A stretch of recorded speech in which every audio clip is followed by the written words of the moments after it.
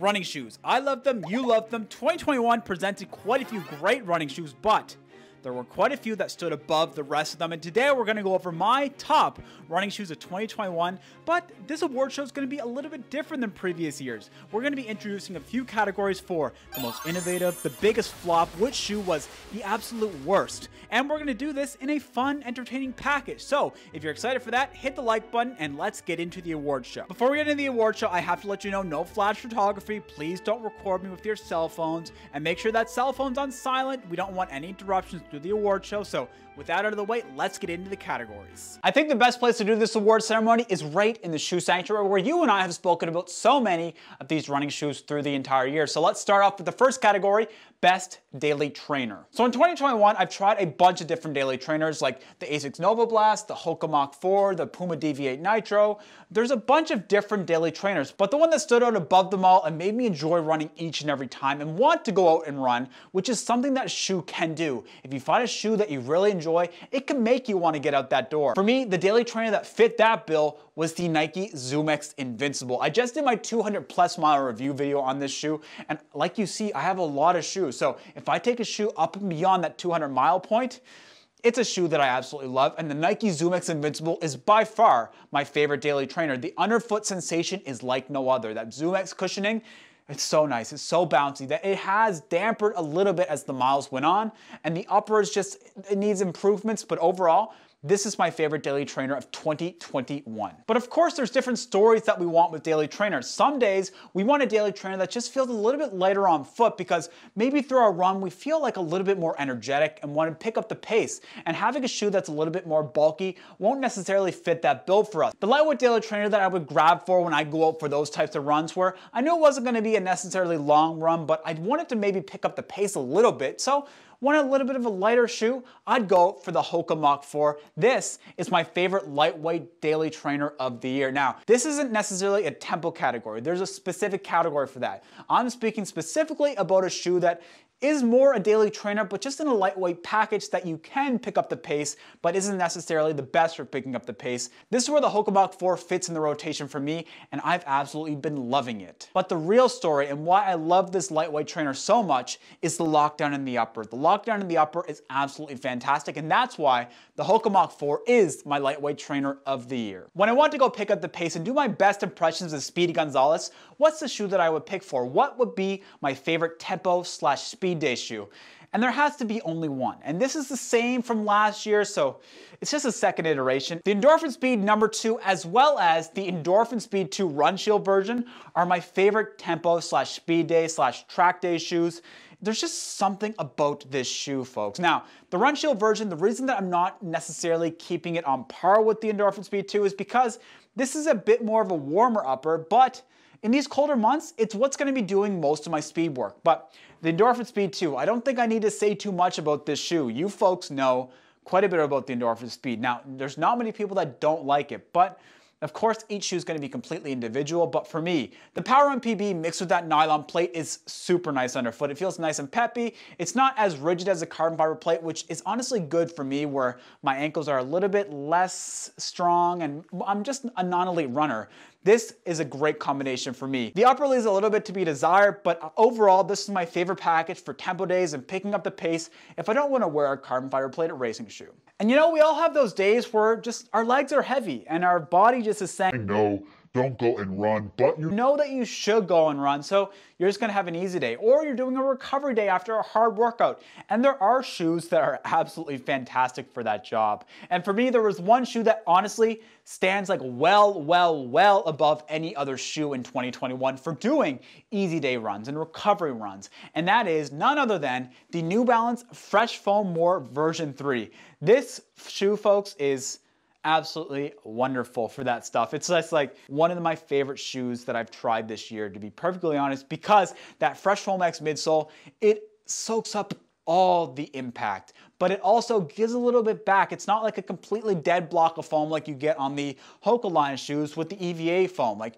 no, this Fresh Foam X just it gives something back, it absorbs the impact. It is wearing just a little bit now that I inspect it, so that's kind of concerning because I think I only have like 60 miles on this. But the More version 3 is probably the best shoe that I've ever tried for easy day and recovery runs. It really just makes your legs feel so protected. It's so comfortable. It has that really wide landing platform. So if you have any instability due to your legs being fatigued or anything like that, it has that little bit of inherent stability that allows you to get out there and keep on putting in those miles on those days where you don't want to put in the miles.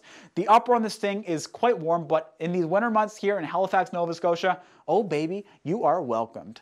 Folks, this is my favorite easy day of 2021 and maybe of all time. But folks, really, what is life if it's not for carbon fiber plated racing shoes that drain our bank accounts and make our spouses and significant others and partners just kind of look at us in disgust when they see that credit bill come and they're just like, you only have two feet. Why do you need 50 million shoes? You know what? I've heard it all. I've heard it all, folks. And for me, the best carbon fiber plated racing shoe that I've tried in 2021 is actually one of my most recent purchases, believe it or not. So I was very hesitant to pick up the shoe because I have the first iteration and I thought, what's the point of picking up the second iteration? I have a lot of other beauties in my collection, but the Black Friday deals hit. And when the Black Friday's deal hit and you see some great deals, well, the credit card just comes out and you type in the number and you kind of just sit back and wallow in your own regret for a few minutes. But then the shoe comes and you try it on and you're absolutely pleasantly surprised. And that's what happened with the Nike Vaporfly Next Percent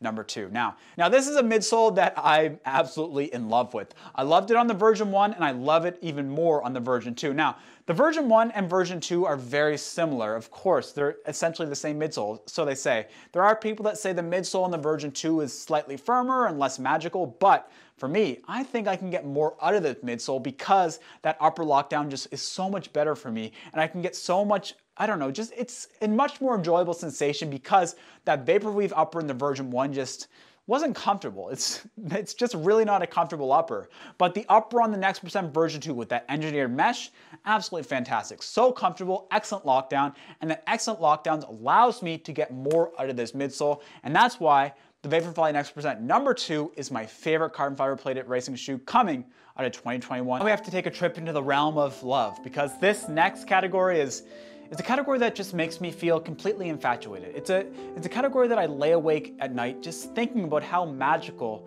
this sensation feels underfoot. I wake up in the morning and my day is just starting off a little bit bad and then I think about this midsole and I, I have to sit back and just appreciate that this even exists on this green earth, okay?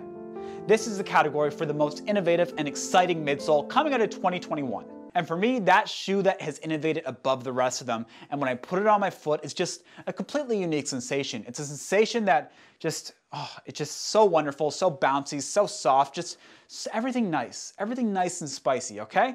And for me, that shoe is none other than the Adidas Prime X. This thick boy, he's a very thick boy, but he is absolutely fantastic. The, the Lightstrike Pro mixed with the carbon fiber rods and all what else is went into this midsole works. It's just so magical underfoot. And a lot of people are saying it's just cheating when you put it on their foot because it has that 50 millimeter stack height and all that deal. Yes, but if you put aside your judgment and go try this shoe, it's absolutely fantastic. It is seriously, I don't know, it's kind of like one of those shoes where my legs are really sore. I can put this on and it almost feels like I'm not using any effort to go run. It's honestly, I've been using it for slower runs as well, and it's still fantastic. Of course, it's a little bit unstable. You're essentially on stilts, so going around corners is just like, it's pretty difficult. It's definitely, uh, it's a scary experience, but it's an experience worth having. The Prime X, the most innovative midsole in 2021, and honestly, it's it's such a unique ride. If if it wasn't for like the lack of versatility and the insane price point and all that stuff, it probably would have been my favorite shoe of the year. But it's just not realistic to crown this the best shoe of the year because it's just it's very specific and very expensive. But of course, with uh, everything happy, there comes things that are sad. And this next category is just uh, it's one of those things where I sit down at night and I kind of really regret pulling on my credit card and hitting the buy button on this shoe because it's just, this is the biggest flop of 2021. There are times that running shoes just don't work. Like you go out and try so many different running shoes, not all of them are gonna be hits. That's why I buy them, test them, and come and tell you my experiences here on YouTube. And for me, the shoe that really hits the mark this year is none other than the Hoka Bondi X. Now, initially I, I did kind of enjoy this shoe and it's still a fine shoe, but That's all it is, is a fine shoe. And coming in at 240 Canadian dollars, this shoe is honestly so overpriced. It's nothing special for the price point. The midsole feels, I don't know, feels smooth, but the upper really misses the mark for me. The tongue is a little bit too short for my liking. It can be good for some people, but overall, the Hoka Bondi X is just, it's a fine shoe. I'll continue using it for certain things, but it's just fine.